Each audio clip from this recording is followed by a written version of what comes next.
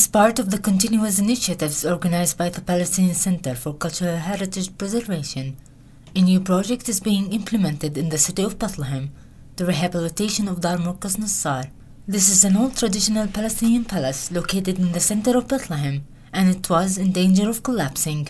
Since 2001, the Center for Cultural Heritage Preservation has been able to restore more than 40 historic buildings in projects that aim at preserving the cultural heritage in the Bethlehem Governorate in particular and Palestine in general.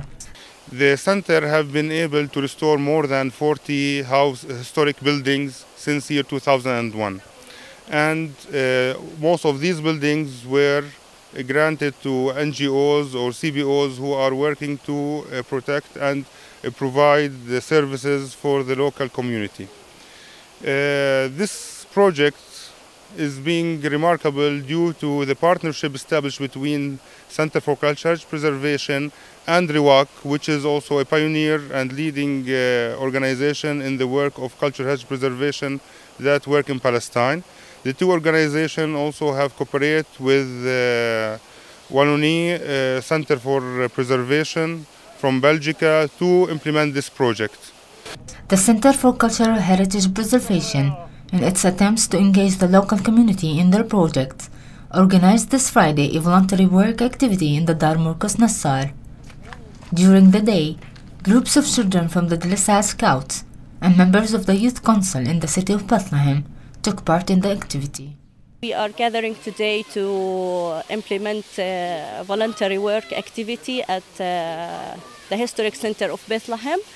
Uh, we as a center uh, interest uh, a lot in uh, involving the local community in our activities in rehabilitating and preserving our cultural heritage. Uh, this day is considered as a part of the public awareness activities for the community and uh, which is a complement to the um, uh, to our initiatives in uh, rehabilitating the old old and traditional buildings in Bethlehem. The volunteering event, which was organized on the occasion of Land Day, included planting trees and painting the walls of Dar Murkaz Nassar.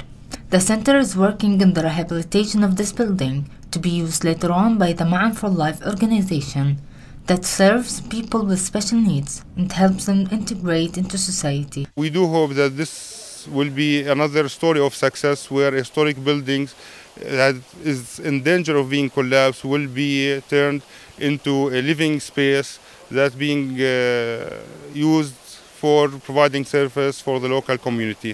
Especially in this case, we are talking about people with special needs who are in need of for such services. The architects working on the restoration of the palace talked about the project and their work.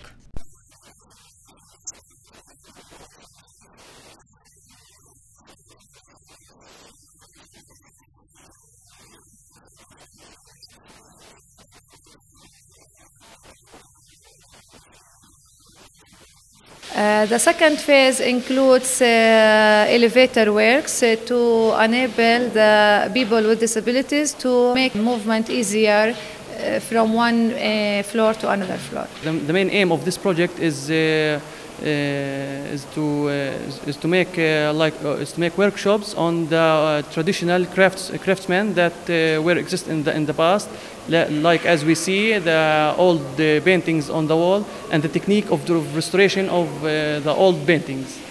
Uh, and this uh, workshop that we are uh, doing it now uh, la last for two weeks and now we are in the last uh, stage of, uh, of, this, uh, of this workshop.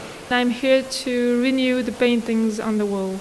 And we come here to teach to the Palestinian people how to restore their heritage. So here we have two kinds of paintings. We have lime paintings and also oil painting on the wall, a kind of oil. And uh, we had to uh, first we had to fix the painting on the wall because everything was uh, uh, was uh, going back. Uh, they, it was not stick anymore on the wall. And here, actually, now we are painting with acryls, aquarelle, and also with uh, color pencil. The De La Salle Scouts and members of the Youth Council who participated in the voluntary activity at Dar Markaz Nassar also expressed their willingness and happiness to help in this project. Amash, we are from De La Salle Scout. We came here today to help our people in Palestine, and our scout says to us that to help our community and to save our uh, heritage in Palestine. We came here to uh, to help uh, make this place better and by planting things and uh, painting the walls. And I uh, I'm proud of this thing because we are serving our society. And uh, especially this um, old place to keep it better and better. Several Palestinian youth spent their day in one of the most historical buildings in Bethlehem, a building that had been deserted for a long time and was turned into a place that is full of life.